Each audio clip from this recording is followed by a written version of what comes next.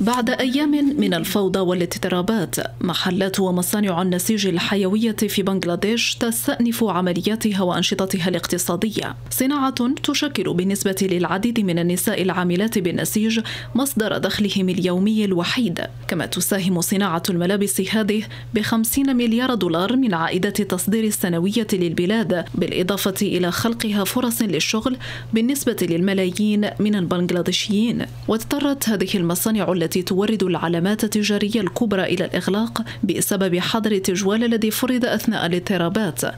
بنغلاديش التي صنفت كثالث أكبر مصدر للملابس في العالم بعد الصين والاتحاد الأوروبي وفقا لمنظمة التجارة العالمية. وكان ما يقرب من نصف صادراتها في الفترة من يوليوز 2023 إلى ماي 2024 إلى الاتحاد الأوروبي بقيمة تجاوزت 20 مليار دولار.